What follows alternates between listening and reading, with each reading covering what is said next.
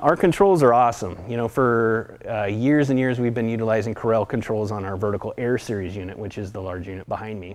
But it's now on every single chiller we build.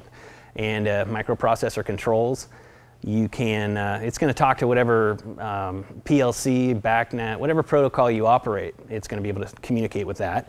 It's also going to give you some uh, alerts. If something falls out of whack, it will shoot you a text, shoot you an email and uh, it's just a, a, a, great a great controller designed specifically for the refrigeration application.